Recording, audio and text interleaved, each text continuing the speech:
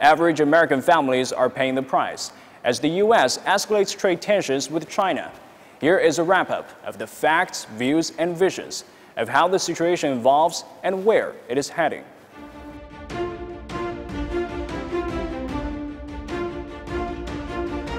Earlier this month, the U.S. slapped additional tariffs on 200 billion U.S. dollars worth of Chinese imports.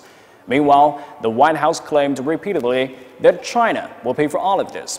But is that the case? It's U.S. businesses and U.S. consumers who pay, correct? Uh, yes, to some extent. Uh, yeah, I don't disagree with that. We uh, definitely have uh, suffered some loss from the trade problems.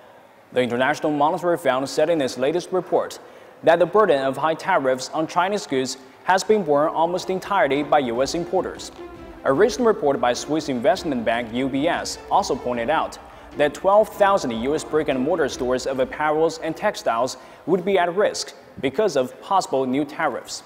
Trade wars never work, and everybody ends up a loser in a trade war.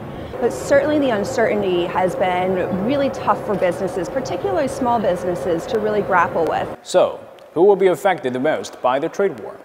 According to the Tariff Hurt the Heartland campaign run by over 150 U.S. trade organizations, the latest escalation means the trade war will only get worse and hit home for every American. On May the 20th, 173 footwear companies and retailers, including Nike and Adidas, signed an open letter to the White House, saying that American consumers will have to spend more to buy their sneakers. Well, you might be asking, how much is that going to be? Well, how about 7 billion US dollars added to their bills just for shoes? Meanwhile, the New York Federal Reserve estimates that the new tariff hikes on Chinese goods will cost the typical US household 831 US dollars a year. And just as if that weren't enough, Trade tensions with China are also hurting American farmers. The disruption and the uncertainty uh, does not help our markets, and it, it certainly doesn't uh, doesn't help our farmers. And so we're anxious to see a resolution to this negotiation and this this process. And so what happens if we have trade disruption? It further decreases production because it hurts the farmers economically. And then it hurts the farmers, then it hurts the banks, it hurts the economies, it stops the growth. Business leaders and officials are also calling for quick actions to avoid prolonged tensions. We want to see the issues, the trade issues between China and the United States get resolved.